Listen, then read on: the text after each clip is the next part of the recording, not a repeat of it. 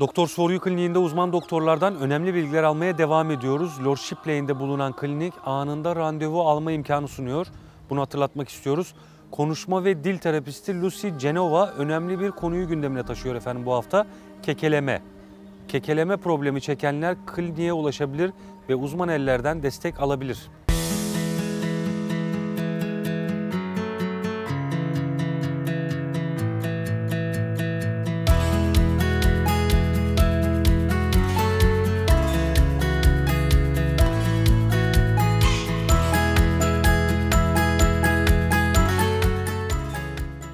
Hi, I'm Lucy Genova, speech and language therapist, and I work with Doctors for You every Saturday.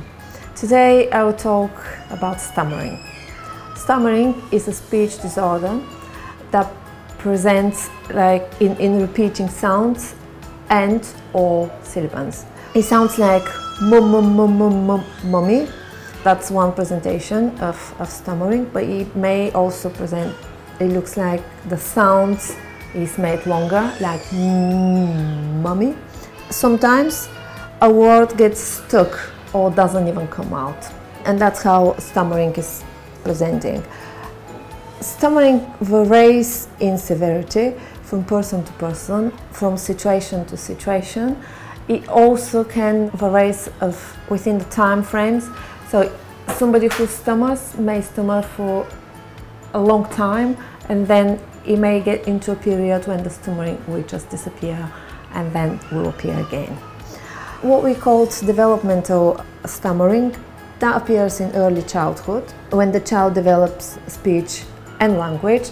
The brain then goes through a really, really intensive changes which may impact the way the child learn to speak and and obviously stammering can appear at that, at that moment. Now I'll tell you a little bit more why in a few seconds. Uh, and the other type can occur when um, in later age, when the child is in, in their teens or in, in adulthood. It can happen as a result of brain damage, injury, stroke, any progressive neurological conditions as well may, may impact. It can also be a result of, of some drugs, medication, some psychological or emotional trauma. We're not 100% sure what causes uh, stammering, but we know there is an inherited factor that may impact uh, somebody. When I'm saying that, I'm not saying stammering can be inherited.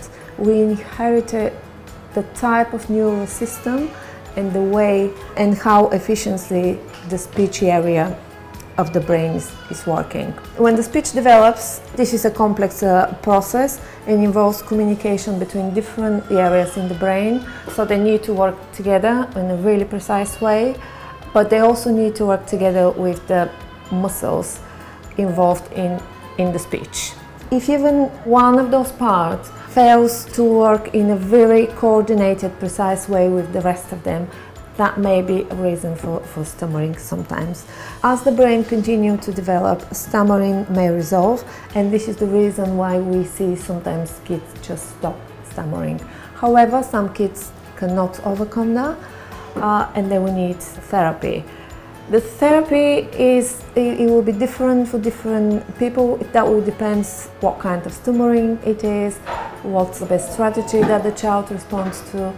It may last a couple of months, but it may last even years. Sometimes it may disappear after treatment, it just stops forever.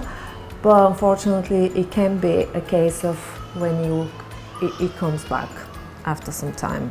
We know that there is a difference in, in boys and girls and unfortunately boys are known to struggle from stammering a lot more often than girls. If you have, if you have any related concerns, please call Doctors for You and book a consultation with me.